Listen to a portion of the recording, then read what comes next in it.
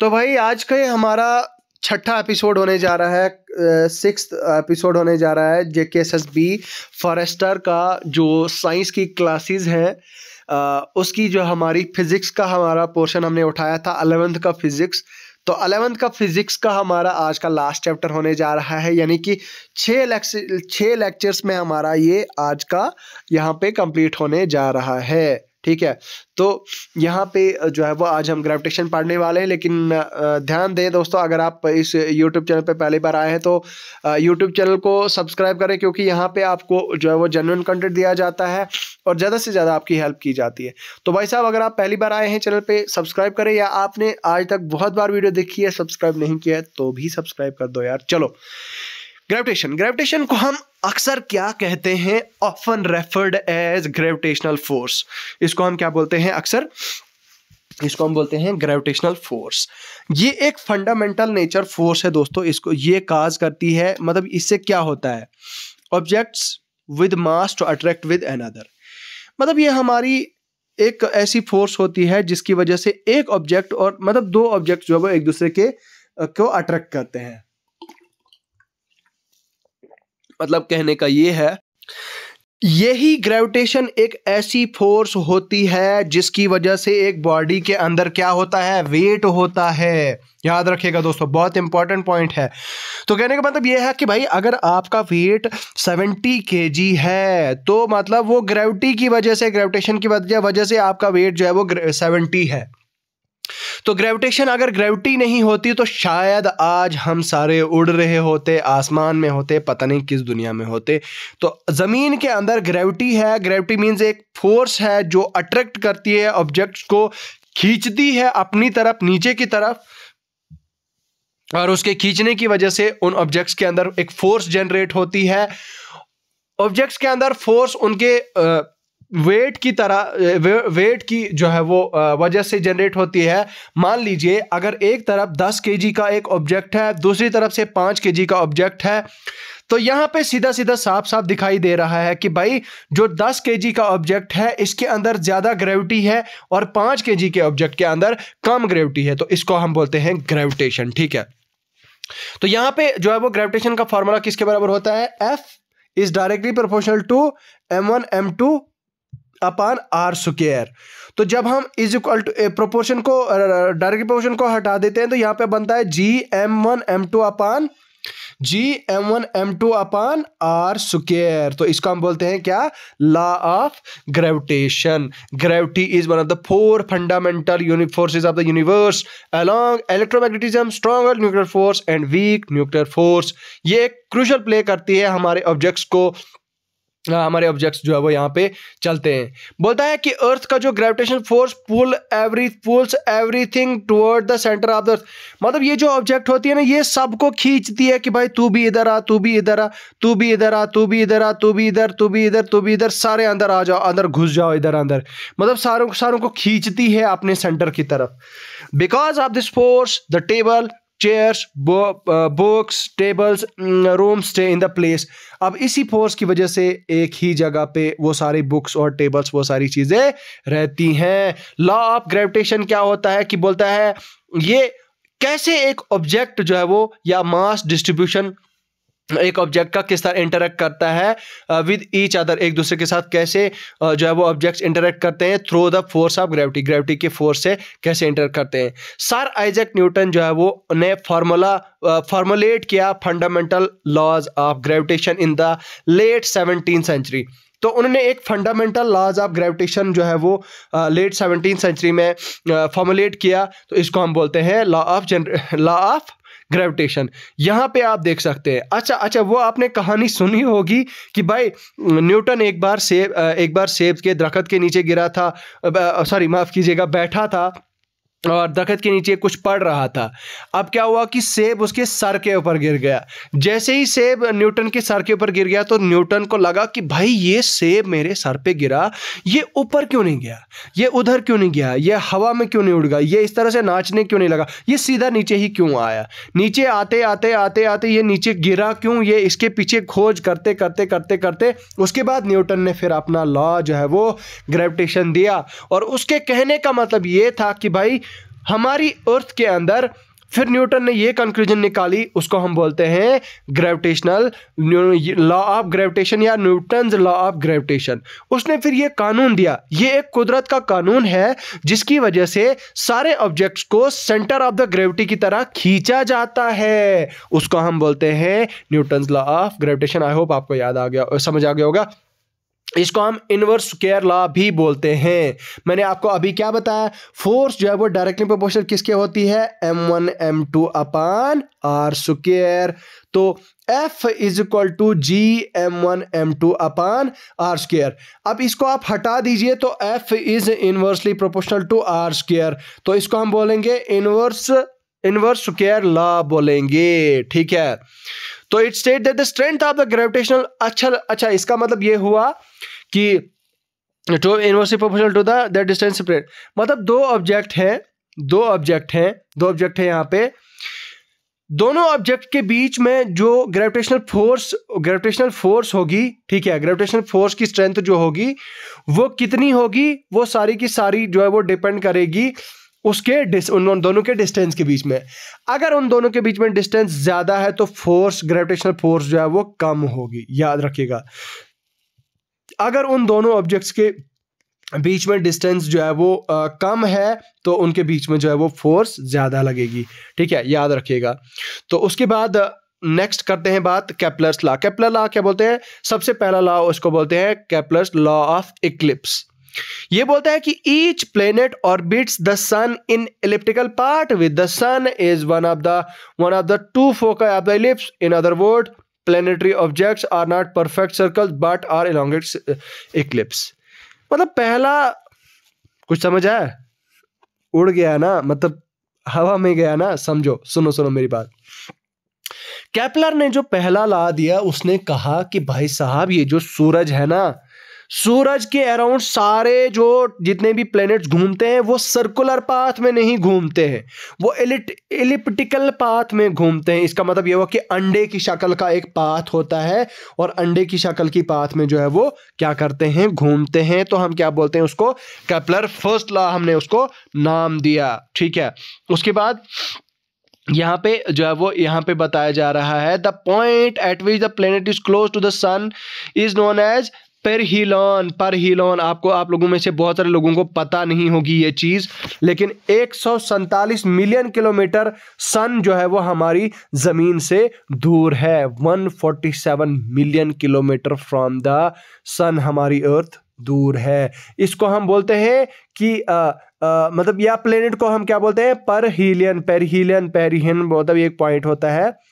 उसके बाद and the point at which the planet is farther from the sun is known as aphelion मतलब एक सन से दूर अगर कोई प्लेनेट रहा है तो उसका हम क्या बोलेंगे? एफिलियन बोलेंगे। एक सौ मिलियन मिलियन किलोमीटर सन से होगा। और और और और यहाँ पे एक जो है वो, अगर कोई प्लेनेट जो है वो सन के सन के नज़दीक होगा, उसको हम बोल देंगे अपहीलियन परहीलियन, माफ़ कीजिएगा। ठीक है। तो यहाँ पे आप देख सकते हैं डायग्राम आपकी स्क्रीन पे दिख रहा होगा अफिलियन क्या होता है और परहिलियन परहिलियन का मतलब ये हुआ कि सूरज के, सूरज ये है और सूरज का नज़दीक वाला पॉइंट परहिलियन है और जो आपका एफिलियन है वो आपका दूर वाला पॉइंट है। सेकंड लॉ क्या होता है कपलर्स का? ये बोलता है law of equal areas a line segment joining the joining a planet a sun sweeps out equal areas in equal time this mean that the planet moves faster in its orbit when it is closer to the sun and slower when it is farther away. मतलब in short सीधा भाषा में आसान भाषा में अगर समझाऊं तो सेकंड लॉ कैपलर का क्या बोलता है कि अगर एक ऑब्जेक्ट मूव कर रहा है सन के जब वो सन के नज़दीक होता है यहाँ पे ज़रा डायग्राम पे ध्यान दो। आ, बोलता है कि सन के नज़दीक जब भी कोई ऑब्जेक्ट होता है तो वो तेज़ भागने लगता है। और उसके बाद जब सन के दूर चला जाता है तो भाई फिर आहिस्ता आहिस्ता आहिस्ता आहिस्ता, इस तरह से जो है वो चलता है। लेकिन जैसे ही नज़दीक आते है तो फिर तेज तेज तेज तेज, यहाँ से तो फिर स्लो स्लो स्लो स्लो तेज तेज तेज तेज स्लो स्लो स्लो तो कहने का मतलब ये है कि सन जो है वो बीच में है और सन के अराउंड जो है वो सारे प्लेनेट्स घूम रहे हैं, चाहे वो अर्थ हो मार्स हो जुपिटर हो यूरेनस हो वेनस हो नेपच्यून हो प्लूटो हो, जो भी प्लेनेट है वो वो सन के अराउंड घूम रहा है। जब उसके नज़दीक जा रहा है तो स्पीड बढ़ रही है, दूर जा रहा है तो स्पीड घट रही है तो इसको हम क्या बोलेंगे? कैप्लर सेकंड ला यहाँ पे देखो, यहाँ पे देखो ये देखिए यहाँ पे थोड़ा समझाने की मैंने डायग्राम बनाई हुई ताकि आपको समझ आए। तो ये पहला लॉ क्या बोल रहा था कि ये जो नज़दीक वाला पॉइंट होता है सन के नज़दीक वाला, उसको हम बोलते हैं परहीलियन और जो दूर वाला पॉइंट होता है सन के, उसको हम बोलते हैं एपहीलियन और बोलता है सेकंड लॉ बोलता है कि भाई सन के नज़दीक जब जैसे ही आता है तो ये बहुत ज़्यादा तेज़ चलता है, और सन से दूर जब चला जाता है तो इसको हम, ये जो है वो थोड़ा क्या करता है स्लो चलता है। तो अब जो है वो यहाँ पे आपको एक चीज़ बात समझ आ रही होगी कि भाई कैपलर्स का जो कैपलर्स के जो दोनों लाज हैं वो किस पे बेस्ड है? आपके सन के अराउंड जो जो आ, प्लेनेट्स घूम रहे हैं चक्कर काट रहे हैं जो है वो गेड़ी मार रहे हैं तो उसको वो जो है वो उसी के बेस्ड जो है वो आपके कैपलर्स के दोनों लाज है। उसके बाद जो है वो यहाँ पे बताया गया है कि भाई इक्वल एरियाज़ क्या है ये सारी डिटेल ये तो मैंने आपको समझा ही दिया बाकी आप डिटेल में खुद भी पढ़ सकते हैं। कैपलर का फ़र्स्ट लॉ क्या बोलता है सेकंड लॉ उसके बाद third law. The square of the orbital period of the planet is proportional to the cube of the semi major axis तो जो थर्ड लॉ क्या बोलता है T T square is directly proportional to किसके? ए cube of the किसके? आ, आपके जो सन है उसके, ठीक है? थर्ड लॉ यहाँ पे देखिए। It is known as law of harmonies ये पूछा जा सकता है आपके पेपर में, दोस्तों। लॉ ऑफ़ हारमोनीज इसको बोलते हैं। Describe the relationship between the orbital periods of planets and the semi major axis of the of their elliptical orbit ये डिस्क्राइब करता है रिलेशनशिप किस किस के बीच में orbital periods of the planets मतलब जो प्लैनेट्स होते हैं ना, जो जितने भी प्लैनेट्स होते हैं, जो घूम रहे हैं सन के अराउंड उनके जो ऑर्बिट का पीरियड है, वो कितने पीरियड में चल रहे हैं, एक तो उसको एक्सप्लेन करता है, दूसरा उनका सेमी मेजर एक्सिस और उनके आधे के जो आधे जो एक्सिस होते हैं, उनको बताता है, उनके इलिप्टिकल ऑर्बिट के सेमी मेजर एक्सिस को बताता है। इसको हम ऐसे किससे डिनोट करते हैं? T square is directly proportional to A का क्यूब ठीक है कैपलर थर्ड ला यहाँ पे बताया जा रहा है। ठीक है, यहाँ पे डायग्राम आप थर्ड ला की देख सकते हैं। ऑर्बिटल ऑर्बिटल पीरियड यहाँ पे आपकी इन्फॉर्मेशन के लिए बता दूँ दोस्तों, ये साइंस फैक्ट्स डॉट कॉम एक बहुत ही अच्छा प्लेटफॉर्म है। यहाँ से मैंने ये इमेजेस यूज़ की हैं। अगर आपको और डिटेल में जाना होगा तो इनकी वेबसाइट पे आप जाके देख सकते हैं। बाकी similar terms are Kepler third last state that the square of the orbital period of a planet is directly proportional to the cube of the semi major axis ठीक है? तो ये जो है वो आपका, उसके बाद नेक्स्ट है आपका ग्रेविटेशनल कांस्टेंट क्या होता है? तो भाई ये एक वैल्यू होती है G is equal to six point six seven into ten H power minus eleven metre cube kilogram per kilogram per second square तो इसको बोलते हैं fundamental physical constant that plays a crucial role in understanding gravitation and force of gravity मतलब ये जो gravitational constant है, ये हमें ग्रेविटेशन के जो फोर्स है, उसको समझाने में हेल्प करता है और ग्रेविटी की फोर्स को समझाने में हेल्प करता है। बाकी ये एक फंडामेंटल कांस्टेंट मैचुअर लाइक ये हमारा स्पीड ऑफ़ लाइट कांस्टेंट ये इसी तरह से ये भी एक कांस्टेंट है। ठीक है? ये हमें ग्रेविटेशनल फोर्स को हेल्प कराने में मदद करता है, बाकी ग्रेविटेशनल फोर्स को मेजर कराने में हेल्प करता है, बाकी इसके और भी जो है वो काफ़ी फ़ायदे हैं। तो जो है वो, उसके बाद है एक्सरेशन ड्यू टू ग्रेविटी इसको हम बोलते हैं small G small G small G में आपको थोड़ा सा अगर शॉर्ट में बताऊँ तो ये जो है वो ये फोर्स ऑफ़ अट्रैक्शन की वजह से होता है। यहाँ पे बताया जा रहा है कि जब एक बॉडी जो है वो अर्थ की तरफ़ गिर जाती है तो उसके अंदर एक फोर्स जनरेट होती है, वो बहुत तेज़ी से नीचे की तरफ़ गिरती है, उसको पुल आता है। वो उसको एक्सलरेशन लग जाता है, उसके ऊपर एक्सलरेट होती है वो बॉडी और वो जब वो नीचे गिरती है। मेरी बात सुनो। जब आप गाड़ी चला रहे हो, आपने अपनी गाड़ी चला रहे हो आराम आराम से 40 किलोमीटर प्रति घंटा की स्पीड से आपकी गाड़ी चल रही है। जब आपने एक्सेलेटर बहुत तेज किया, बहुत तेज किया, और तेज किया, आपकी गाड़ी आप चलने लगी 80 किलोमीटर पर आर क्यों? क्योंकि आपने उसका जो लीनियर एक्सेलरेशन है, वो बढ़ाया। अब सेम यहाँ पे भी है कि भाई, अगर एक ऑब्जेक्ट आसमान से गिर रहा है, या छत से कोई ऑब्जेक्ट गिर रहा है जैसे ही वो गिरने लगता है तो भाई गिरने की वजह से क्या होता है, वो नीचे की तरफ़ आता है तो बहुत ज़्यादा तेज़ी से नीचे की तरफ़ आता है। क्यों? क्योंकि उसके अंदर ऑटोमेटिकली नेचुरली जो है, वो एक्सेलरेशन आ जाता है। और उस एक्सेलरेशन को हम क्या बोलते हैं? एक्सेलरेशन ड्यू टू ग्रेविटी और उसको डिनोट करते हैं हम जी से। तो इसका फॉर्मूला क्या होता है? भाई, यहाँ पे हमें पता है कि भाई न्यूटन लॉ ऑफ़ ग्रेविटेशन किसके बराबर है? F is equal to G M M upon R square तो यहाँ पे आप इसके फॉर्मूला वगैरह देख सकते हो, इसकी क्या बताया गया अच्छा ऐसा unit of acceleration due to gravity is इसका ऐसा यूनिट क्या है? Metre per second square CGS में centimetre per second square M L T two ठीक है। ग्रेविटेशनल फार्मूला कॉन्सेप्ट का फार्मूला हमारे पास ये है। बाकी इसकी डेरिवेशन कहाँ से है? इसका बहुत आसान है। हमें पता है कि भाई न्यूटन्स फ़र्स्ट लॉ हमारा किसके बराबर होता है? सेकंड लॉ किसके बराबर होता है? F is equal to M into A force किसके बराबर होता है? मास इंटू एक्सलेशन ठीक है? तो उसके बाद हमें यह भी पता है कि फोर्स किसके बराबर है? मास इंटू ग्रेविटी क्यों?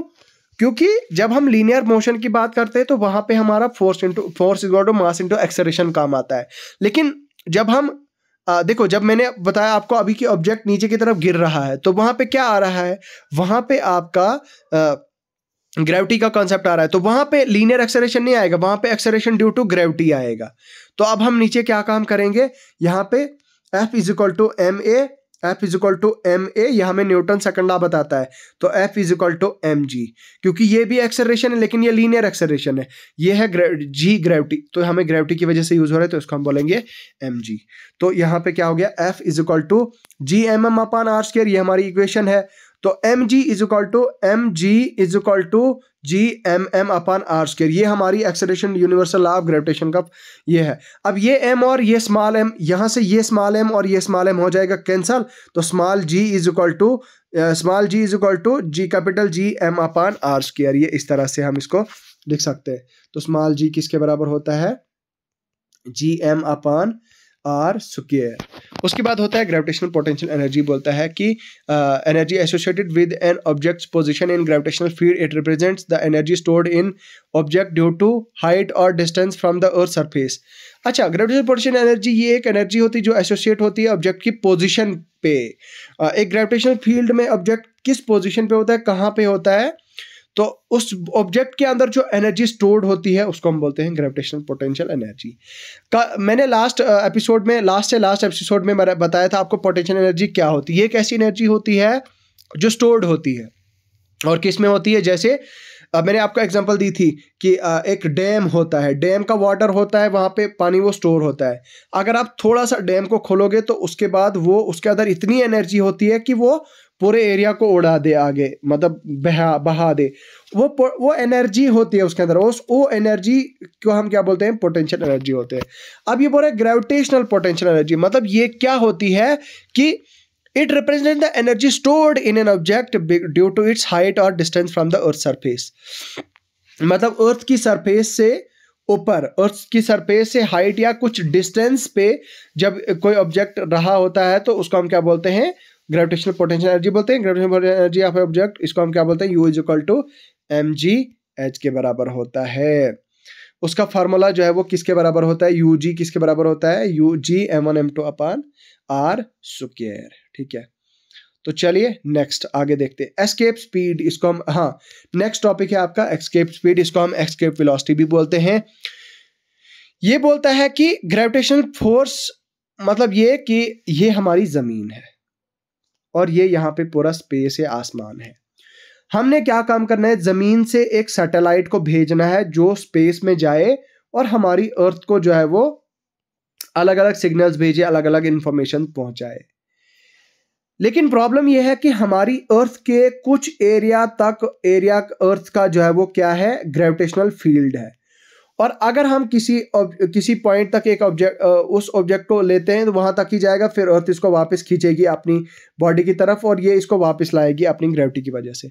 लेकिन बोल रहा है कि एस्केप अगर हम उसको उस ऑब्जेक्ट को ऐसी स्पीड से हम अर्थ के अर्थ के ऑर्बिट से बाहर निकाल दें तो वो स्पीड से जब वो एक खतरनाक स्पीड होगी, जिस स्पीड से ये अर्थ के ऑर्बिट के बाहर चली जाएगी गएगा ऑब्जेक्ट तो वो उस ग्रेविटेशनल फ़ील्ड को जो है वो क्रॉस कर लेगा। तो जैसे ही वो क्रॉस कर लेगा तो दैट मीन्स उसके अंदर वो एस्केप स्पीड आ गई और एस्केप स्पीड की वजह से जो है वो क्या किया ऑब्जेक्ट ने उस एरिया को जो है वो क्रॉस कर लिया और वो एस्केप स्पीड जो है वो आगे निकल गया। मतलब ये कि ये एक एस्केप्ड वेलोसिटी क्या होती है कि अर्थ के कुछ एरिया तक एरिया अर्थ का जो ग्रेविटेशनल इन्फ्लुएंस होता है।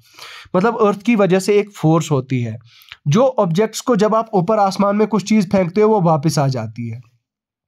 तो अब बोलता है जो भी चीज़ें आप आसमान में भेजोगे, ऊपर भेजोगे स्पेस में भेजोगे, वो वापस आ जाएँगी।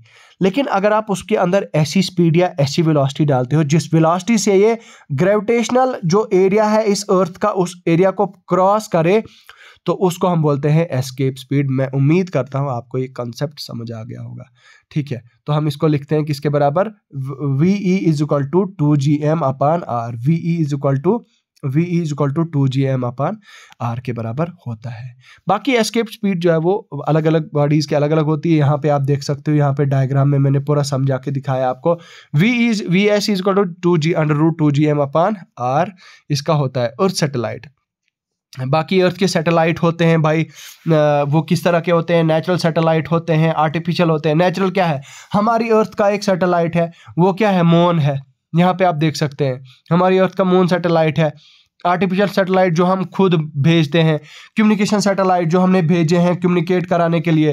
तो अलग अलग हबल टेलीस्कोप वगैरह वगैरह, ठीक है? जीपीएस ग्लोबल पोजिशन सैटेलाइट मतलब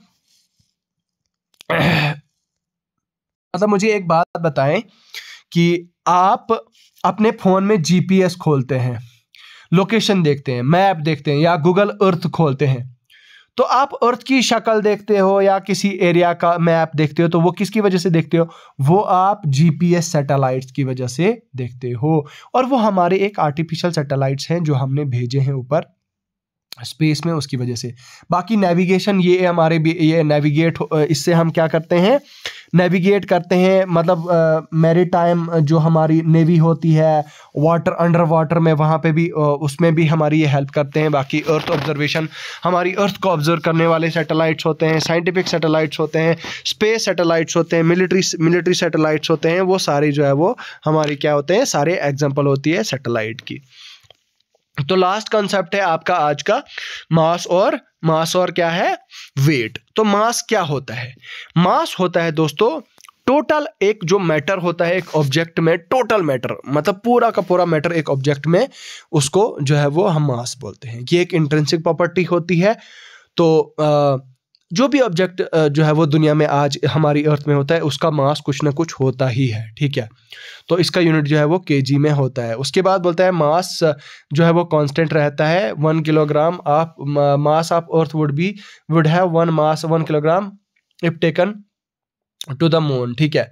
उसके बाद वेट क्या होता है? ये एक एक्सटर्नल फोर्स अब देखिए वेट में हमारा ग्रेविटी का कॉन्सेप्ट आता है, ठीक है? यहाँ पे बोलता है कि external force exerted on an object due to gravity gravity की वजह से एक ऑब्जेक्ट के ऊपर जो एक्सटर्नल फोर्स लगती है, उसको हम क्या बोलते हैं? वेट बोलते हैं। ये डिपेंड करता है ऑब्जेक्ट्स के मास पे और और strength of the gravitational field के ऊपर वेयर ऑब्जेक्ट इज़ लोकेटेड ठीक है? तो ये जो है वो आपको देखना है। बाकी डब वेट किसके बराबर होता है? मास इनटू ग्रेविटेशनल एक्सेलरेशन ठीक है? तो समरी में हमें क्या पता चलता है कि डिफरेंस बिटवीन मास और वेट क्या है? कि ये एक इंट्रेंसिक प्रॉपर्टी है जो same no better no matter we are the object is in the universe तो ये जो है वो वेट डिपेंड करेगा। ग्रेविटेशनल फ़ील्ड पे बाकी ग्रेविटेशनल फ़ील्ड पे जो है वो डिपेंड करेगा। बाकी मास हर एक ऑब्जेक्ट का कांस्टेंट होगा चाहे आप उसको ज़मीन पे ले जाओ चा, चाहे उसको चाँद पे ले जाओ कहीं पे भी ले जाओ उसका मास जो है वो कांस्टेंट रहेगा। तो मेरे दोस्तों ये हमारा आज का जो है वो एपिसोड यहीं पे ख़त्म होता है। तो अब हम जो है वो आपका क्लास ट्वेल्थ का जो फिज़िक्स है, वो भी स्टार्ट करने जा रहे हैं। बहुत सारे लोग मुझे बता रहे हैं कि, सर, आप इतना ज़्यादा जल्दी जल्दी इतने बड़े बड़े लेक्चर्स अपलोड कर रहे हो।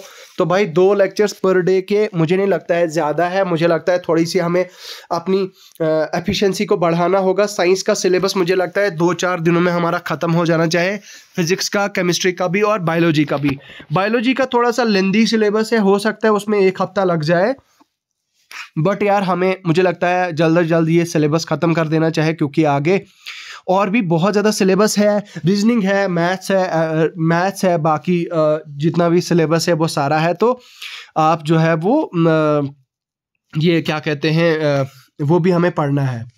तो आप थोड़ी गियर अप करें अपनी तैयारी को, इतना थोड़ा थोड़ा पढ़ने से कुछ नहीं बनने वाला है। जो मैं पढ़ाता हूँ, इसको समझो और इस पीडीएफ को डाउनलोड करो मेरे Telegram channel the exam counsellor पे। और वहाँ पे जाके जो है वो ये मिल जाएगा पीडीएफ आपको। नाम जो है वो पीडीएफ का लिखा होगा general science general science physics part two तो बस इससे आप डाउनलोड करें। तो चलिए अभी के लिए फ़िलहाल इतना ही है। मुझे दीजिए इजाज़त। खुदा हाफिज।